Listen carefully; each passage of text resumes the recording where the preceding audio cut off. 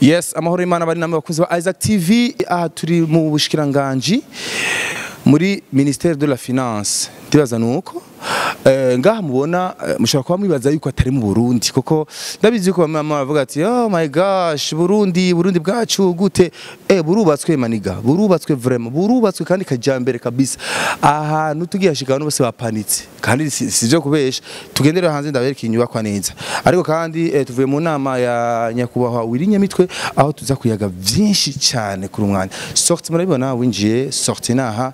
Winjiye ucumukira hariya. N'ahantu ha bien sana. So welcome rero. Kugira ndabereke abantu. Ukishika ngaha kwanza urabona ba eh, Ozi Minush Ozi. Wenda ndakuvugisha ariko ntaco wenda garutse so Juma welcome welcome. Ingo ingo gato hagarare ngaha ariko nje shaka mvugane n'abantu. Ava yuko tutarabereka inama duhejeje gukorerana na nyakubahwa eh, Wirinyamitwe hari abantu bahejeje kuva tuvuye mu nama. Tuvuye mu nama ariko ino introduction ndayikoze kugira abantu bose babone exactement eh, gute. Raba ino gorofa. Ino etage ni imwe mu nyubakwa nziza cyane igezweho eh, niyo ikoramo ministère des finances. Eh, budget okay mu majya mu make rero ubu n'ubushikiranganje by'ubutunzi bw'igihugu byose ubibariza ngaha. Urabona iyi ni etage nziza cyane ni ahantu heza cyane ura parking ni ahantu heza cyane. Urabona rero yuko ikintu nagira ndabereke ngaha Juma reka mpagare ngaha ikintu nashaka ndabereke nashaka ndabereke yuko of course Eh, sometimes abantu murabona ibintu ntimutahura ivyo ari byo mu Burundi ni kimwe mu bihugu novuga yuko eh, cubatswe kiriho kirubakwa ku rugero rwo hejuru cyane. Nimba atavyo mwari muzi ubushikiranganje bwose buko burimuka. Bariko babushikiza bariko babushikira ku magorofa akomakomeye cyane. Amazone yarubatswe neza of course kuko murabizi amazone yarubatswe neza cyane tuzogenda turabibereka biri mu vyo Isaac TV igiye gutangura kuza ibereka iterambere cyangwa ibyo mu bikorwa bitandukanye. Turi kubereka ikiraro cyubatswe eh, gihuza Musaga na Kanyosha. Kiraro cyiza cyane mwari cya kijambere. Ubu rero tuzajya tubereka igisagara cya Bujumbura. Kuba mutakizi of course. Mushobora kuba ugiheruka kera. Ndazi ko abantu bakurikirana Isaac TV bari hanze. Eh, baheruka baheruka Burundi kera tutaragira mm, like Eh ibintu nk'ibi rero. Fresh kabisa. Bana reka ndabaha umwanya gato sindabaruhishe cyane dukurikirane ikiyago ibibazo bitandukanye bagiye birabaza. Eka nanjye nabagije wanashima. Ibibazo vyagiye birabazwa n'aba n'abamenyesha makuru mu rusange kana ba youtuber muri rusange ko bavuze ati ah, wise umumenyesha makuru umumenyesha makuru mu youtuber mu youtuber rero reka sindabaruhishe cyane ndabereke aho inama yabereye. Murabona ahantu inama yabereye habereye ahantu heza cyane. Eh, ni nyuma yaho Ozi na jewe baduhamagaje muri mu kirimba cyanye n'icubahiro umukuru w'igice cy'u Burundi hama ibyavuye hariya mu nama mwarabyumvise mwarabikurikiranye kuri Isaac TV uno musi rero inama rusangi y'ama TV online. Ashika ama TV online ashika ku- kuijana na cumi n'umwe.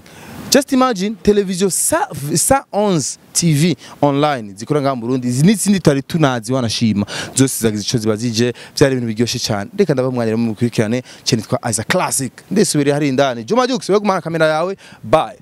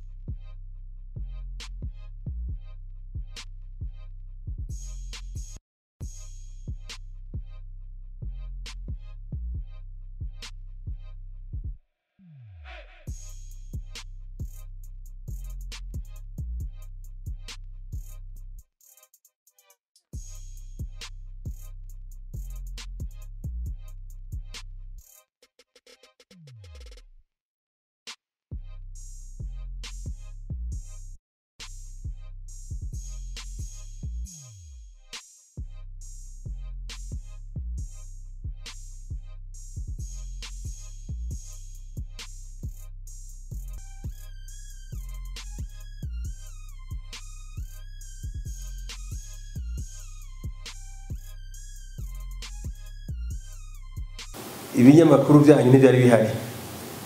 N'ibyari bihari byakora buke buke ku buryo atakintu kininiya umuntu ashobora kwibaza ko cyokenerwa. Murazi ko higeze kubaho igihe mu myaka yahera abantu bakoresha ibinyamakuru bya bindi basohora. Gusa mu nyuma haraza ibindi amaradiyo haraza amateleviziyo. N'amaradiyo n'amateleviziyo na yo nyine ukuza kwayo byagiye biratera imbere bihinduka bihinyanyurwa haraza interineti hari abakora kuri interineti ibyo byose bica bisaba ko abantu basubira kwicara bakiyumvira amategeko. Ni ukuri sinarinzi yuko tv online mungana gutya?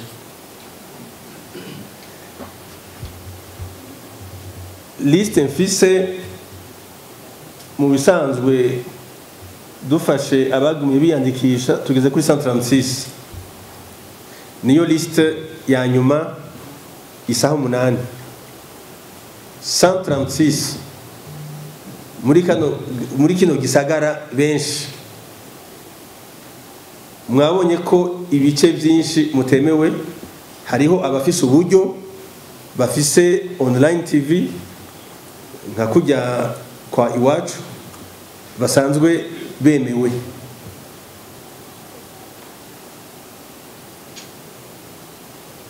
Birumvikana rero yuko dutegerezwa gusaba nk'uko mwabisabye ko amategeko ahinyanyugwa abo bantu bangana gutya si abantu bake. Kandi uko mwaje mwaje nk'abaserukira. Ibyo binyamakuru. Iyo tubabwira tuti umwe wese naze nabo bakorana nitwari kuronka aho tubakwiza icyo ndakizi kiraboneka. Nagira mbanze ndabakeze kuko mwashimye kutiba mwashimye kutaja mu zindi ngeso mugira muti reka turondere ingene twokreye akazi. Icyo ni cyo gukeza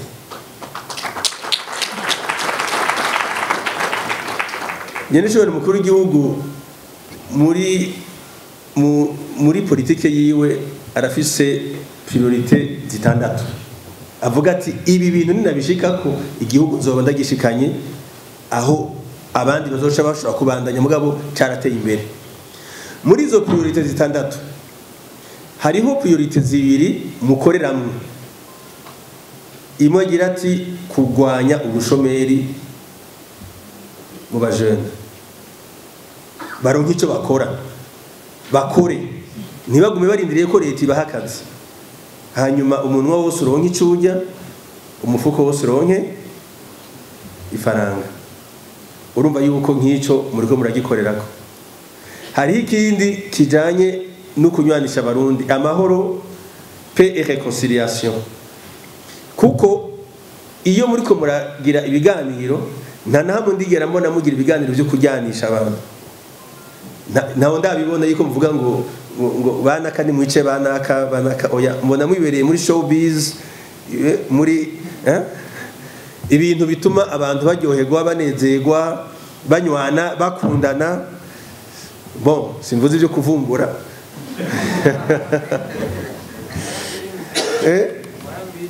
mo? Moya mbiri uno munsi wamvumbuye tuvuge ko uno munsi nanjye navumbuwe sawa mugabo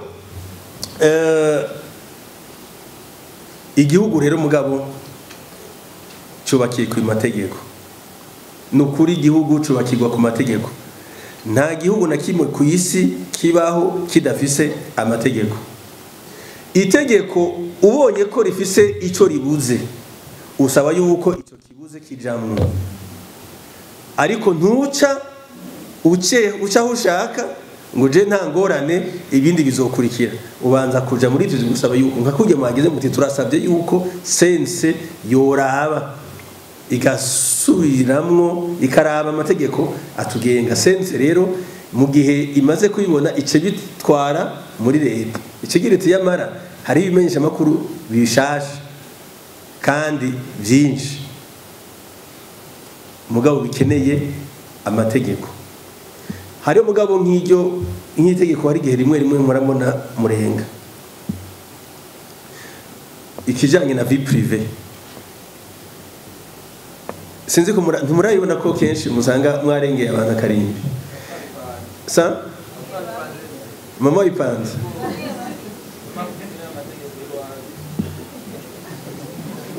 muhe muhe muhe ijambo abisigurire. Reka baguhe ijambo baguhe mikoro uyisigure wisigure neza.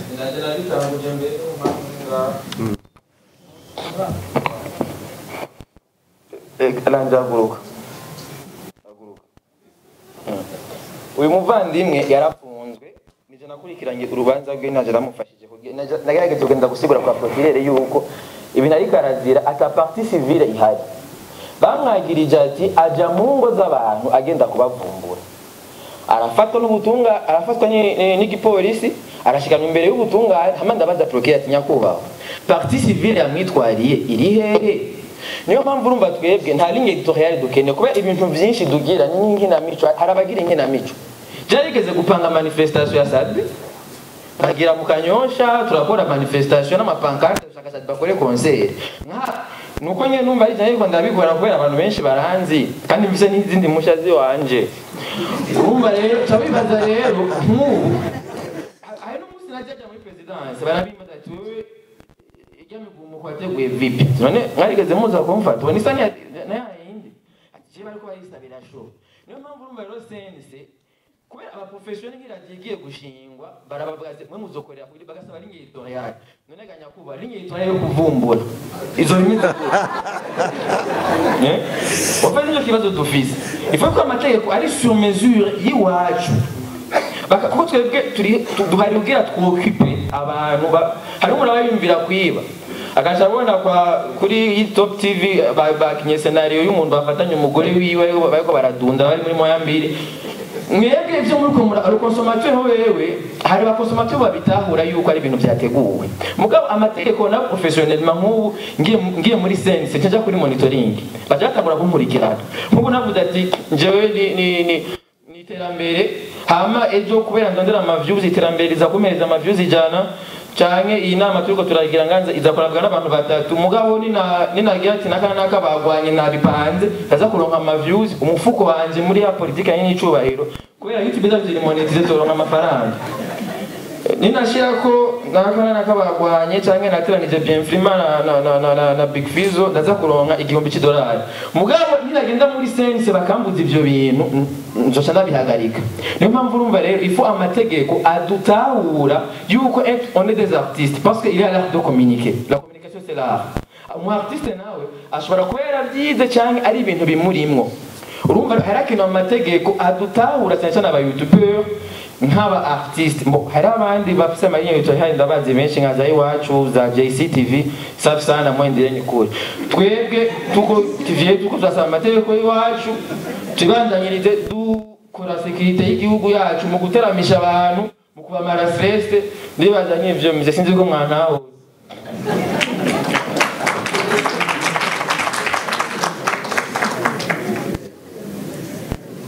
ni wicarire ni muwoze iyo miko hanyuma itegeko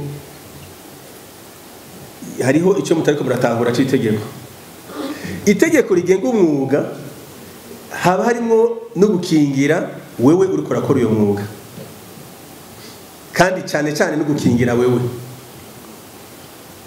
Nawe urakubitwa ngo yavumbuwe. Yavumbuwe oya ntara- nta- ntawe urakubitwa ukumva ko yakubiswe.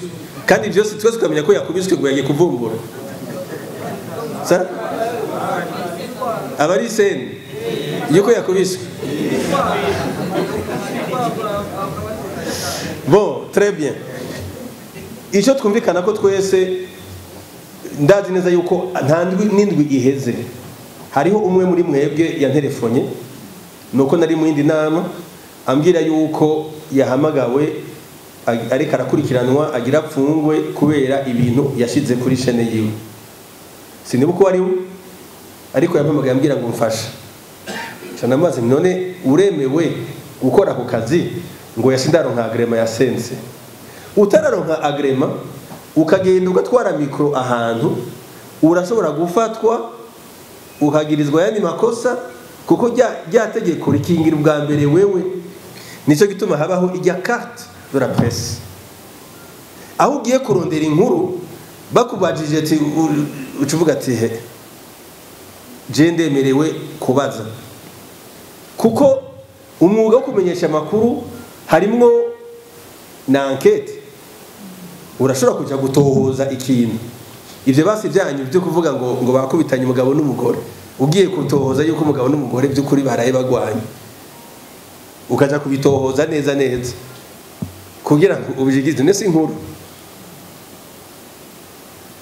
Barashobora kugukurikirana kuri violation de domicile bashobora gukurikirana kuri violation de la vie privée bashobora gukurikirana kuri bintu byinshi cyane ariko mu gihe werekanye ko wewe mu bisanzwe urekuriwe gukora ushobora kuja kurondera inkuru akayikwima mugabo wayigerageje. Mugabo akagira ati rabaje ehe ndafise ikibinyemerera urumva rero ko rijya tegeko ukurikurikirana ukurikurikiza ukurishira mu ngiro bikingira wewe ubwa mbere na mbere.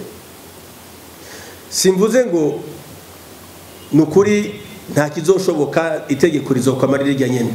Oya ni ehe nibwirizwa shingiro rirahinduka. Ari ryo tegeko bavuga nyamukuru mu gihugu la loi mère rirahinduka. None amategeko ari munsi y'ibwirizwa shingiro ni kuki atohinduka? Arashobora guhinduka.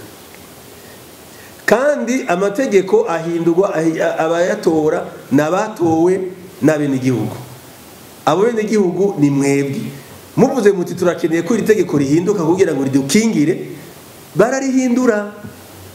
Ariko bigafata inzira y'ukuri. Ahantu umukuru w'igihugu yaberetse yuko ashikira umuntu uwo ari we wese. Mwoje hamwe mwese uko mungana mukandikira ikete mukamandikira ikete rimwe mukaresinya ati mukuru w'igihugu twaragutoye. Iri tegeko riratugoye duhindurire. Atabifanya. Kandi n'aho agiye hose arabwira umuntu uti ubu ufise icyo anshikiriza nakinshikiriza mu minsi mike iri imbere hazobaho n'umurongo muri perezidansi mu mutelefone mumushikiriza iminsi yose ku mwanya ku mwanya icyo mwifuza kuko murazi ko ku makomine hari bwa busandugu byarabonetse yuko hariho abadashobora gushika kuri burya busandugu ariko abantu benshi bafite amatelefone ushoboye kuwugurura ku buryo n'ufite telefone agira ati ndarungitse. Rero turi mu yindi ngendo yuko icyo umwenegihugu akeneye ari cyo leta imukorera. Ibyo rero ntimutinye. Sense ndazi ko inama mu mpera z'umwaka uheze. Yabasabye ko muja kwiyandikisha. Hariho ndazi ko hariho abagiye kwiyandikisha batararonka ba- bataremererwa kuko hari ibyo basabye batarashobora gushikana. Ndazi neza yuko hariho ibigoye. Mwavuze nk'akarorero impano. Impano z'umuntu ni nka kujya kwa gasapu gasapu igihe akora iradiyo. Urazi igihe byamaze kugira ngo aronke autorisation yuko iradiyo yiwe ishobora kuvuga. Agrema byaramugoye cyane kuko hariho amategeko ibintu bitegerezwa gukurikizwa atari afise bitashoboka ariko mu nyuma byarahinyanyuwe arashobora gushika ku cyo yari yifuza. Kuko igihugu gifise umuntu nk'uyu afise iyo mpano gitegerezwa gukora uko gishoboye kugira ngo kimuteze imbere. Mu bindi bihugu natwe tuzobishikako barafinansa meme la recherche. Wewe mu gihe ufise iyo mpano ahubwo leta irashobora kuguha n'uburyo kugira ngo ushobore gushikira kuri iyo mpa- iyo mpano ubu rero ni cyo bako- twakoze leta nkozi yarashizeho banki y'abajene. Mufise umugambi mukawandika neza mukaja kuwudefanda muri banki y'abajene barabaha imfashanyo ingurane. Nako si imfashanyo ingurane kugira ngo mugende mukore muze mushobore kuriha buke buke ko murakenera ekipima murakenera ah, nabonye mugira n'udusaro twiza mm, materiel n'ibindi n'ibindi. Ibyo rero nibaza ko ku gice cya mbere tubyumva kumwe twemere twese twubahirize amategeko uko ameze. Mugabo musabe yuko amategeko ahinyanyurwa. Mwabisabye kandi byashitse kuko ndazi ko na sense yarungitse intumwa ngaha babyumvise. Natwe dukorera muri mu biro by'umukuru w'igihugu twabyumvise tuzobishikiriza muri raporo yuko icyo musaba ari uko itegeko risubirwamo kugira ngo namwe mushobore kwinjiramo. Ibyo rero byashyitse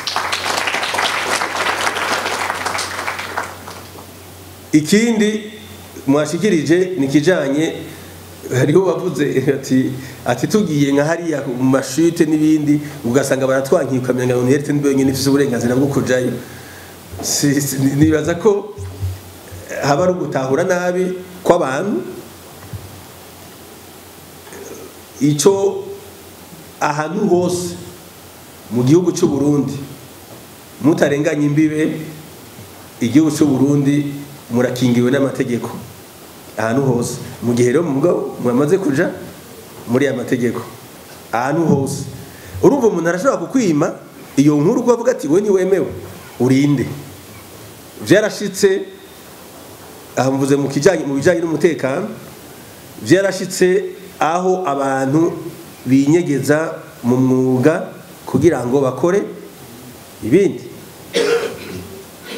Murabizi? Nta buriro nkeneye gutanga buriho. Ni cyo gituma uku- ukuba uzwi biragufasha. Ikindi ni byo hariho bamwe bafite abakozi bakoresha. None abakozi bakoresha kuko hariho kuronka agrema ya sense mugabo hari hose no kubaho entreprise yawe izwi. Waraciye muri yapi ukaronka ukandikisha ukaronka nifu sibyo? Hariho aba- abatanditswe. Bapfa gukora kuko afise interineti izindi ngorane mujamwo n'izihe fata uwo urungitse na kamera yawe imodoka imugonze. Assurance ni gute? Abavyeyi bibaza gukurikirana ati yari ku kazi kawe? Ariko mu gihe yemewe n'amategeko azi ko yari ku kazi afite na kontra ntibarondera wewe bavuga bati hariho umuntu yari ku kazi. Kandi bamukotizira hariya muri inesesi bakotiza ni ukuvuga yuko asiranse ikikora uba uhegiye kumukingira n'udufaranga duto duto duke duke we wokwemera gutanga mugabo ukaba uhegiye kwikingira byinshi. Hariho amakomfurima muvuyemo aho uzobona abantu ko arafatana amashati ati none ikinga ntiyamugonze. Yari ku kazi kawe siwa wamutumye siwa wamurungitse none ubu yavunitse ukuguru. Zari amahera tuje kumuvuza. Kuko wewe nta ubu utari kurakurikiza amategeko uko ameze. Urumva rero hariho uko kubiri hariho icyo ndabashimira koko mwa- mwa- mwakariye akazi ariko no gukariye akazi ni mugashyire ku murongo neza. Gashobore kubatunga gatunga imiryango kongere gateze imbere igihugu. Murakoze cyane. Jewe ikintu cya mbere nagira nsabe ndibaza na nasaba ijambo kuva tugitangura ariko umuntu abonye umenga sere bwashikirwe nta kibazo. Ikintu cya mbere nagira nsabe nagira nsabe yuko ku vyubahiro byanyu mwese muri ngaha ndazi hariho abavuye kure hariho abagiye bava mu ntara zitandukanye. Ni ukuri ku cyubahiro cyanyu ndasabye dukomere amashi cyane cyane leta mvyeyi dukomere amashi twese. Nyakubahwa wawe nyamitwe na Genevieve n'abandi ni ukuri aya mashi ntakwiye mumbabarire dukomere amashi menshi. Ego murashobora kwibaza ati kubera iki nasabye tubakomera amashi Eh, jewe nguma ndabivuga cyane kandi musuguma ndabisubiramo ati burya biragoye cyane kubona eh, uriko urashikiriza iciyumviro cawe abantu bategetse aho bicaye bagahaguruka bagakumviriza. Ni abantu baba bafise ibintu byinshi bibagoye ni abantu baba bafise ibintu byinshi bibafatiriye ariko ukabona abantu baba autorite barahagurutse bariko baratwumviriza ni ikintu c'iteka ridasanzwe. Niyo mpamvu nasabye tubakomera amashi hama mu gusozera nk'uko bampaye akajambo sinzi ko ari akanyuma sinzi ko bigenda gute ntabyo nzi. Ariko je nagira eh, sabe cyane kandi shimitse yuko tumenyereye cyane eh, amanama nk'aya arabaho sometimes arakogwa. Ndibuka rero n'inama twahamagawe muri sense ariko ntitwabonye feedback. Niyo mpamvu wanashima nasabye ati amashi twakomeye nyamitwe na n'abamufasha mu biro bya nyir'icyubahiro umukuru w'igihugu cyacu Burundi arabakwiriye ahubwo ahubwo bana- banahawe bahabwe n'ayandi mashi arengeye ngaho. Kuko kuba twaravuze ndibaza ibi byose bishobora kuba byabaye eh, intandaro y'ikiganiro twakoranye na ozi ibi byose baraduhamagaza mu kirimba ca nyenicubahiro eh, turicarana n'abadukuriye turababwiriye akari ku bica biba ngombwa ko bose bahamagarwa ni ukuri eh, kuri jewe ndumva yuko ari iteka ridasanzwe kandi turabashimiye cyane. Dusabye rero yuko ibyavugiwe ngaha ni byinshi cyane kandi by'ingirakamaro ni ukuri bigire feedback bigire ico bibyaye ntibiherere mu kiyago gusa ahubwo bigire impact. Ejo na hirya y'ejo tubona ati eh voilà mwe muri he? Muze rero. Eh uko ico nico kintu nyamukuru numva yuko nka kujya ari leta nkozi koko twese muri rusange duhaguruke dukore hama eh, wanashima nshimire cyane no gushima gusa mumbabarire nshimire cyane ku kigongwe cya leta yatugiriye. Ndasubiyemwo nshime cyane ikigongwe cya leta yagiriye ama TV online. Kuko ntababesha eh, ama TV online bari gushaka kutugarira twese. Yari kuba ari automatique. Nitege gusa risohoka hejuru ati, bose bahagarikwe byari kubuko nyene ariko kubera yuko ari leta dukunda ari leta mvyeyi batubwiye ati abo bana mubareke tubakurikirane neza. Hama turabingire twokosora hamwe hamwe hagiye haraba utunenge hama reka nsozere mvuge mvuge nti eh, mwese muri rusange cyangwa twese muri rusangi turi kumwe twese turi turi kumwe twese. Dukoze hamwe twese. Byose birashoboka murakoze. Ushaka kuvamo nawe nyene ni uburenganzira bwinshi bituma navuze nti yabisabye. N'ivyo twayikoze ariko uwumva ko atabiryoherewe arashobora kuvamo. Ikindi naco groupe whatsapp ni vyiza ariko hari igihe ikizamwo akavuyo eh? Eh, ikizamwo akavuyo. Turagira isuku muri groupe ariko rana saa cyenda y'ijoro eh, umwe ari mu biyeri aciye aboneka amawudiyo muri? Two- two- twogerageza kuba ari groupe yo guhanahanamo ivyiyumviro bijanye n'ibi twavuganye. Uwufise ikibazo iki canke kiriya arashobora kutubaza kugira ngo turabe ingene twofashanya nimero yanje murayifise nta kibazo. Wavuze ibyerekeye inyambaro wakoze hariyo abagukomeye amashi hariyo abatagukomeye amashi urumva twama tubiraba nk'ubu nk'abantu baje muri perezidanse kugira nk'ibikorwa vya perezida hariho inyambaro dress code. Ntushobora kuza wambaye kambambiri n'ibutura. Nta tegeko na rimwe ryanditse ko bikizira kwambara ibutura ni kambambiri ariko nibaza yuko ushobora kuraba na wowe igihagararo c'aho ugiye nabo muza kubonana ukaraba ingene utegeza kwambara. Rero dress code ingene umuntu yambara bivanye n'ahari biratandukanye eh, umuntu mwo- mwo- mwo- mworaba simvuze ngo bazozana akametero kuko za barapima amajipo. Eh, simvuze ngo uyu yambaye ngufu ujya yambaye ndende ujya ashima ibi bivana. Ndazi ko hari abantu batemera umudamu yambara ipantaro abandi bakabona ko aba yikwije hari aho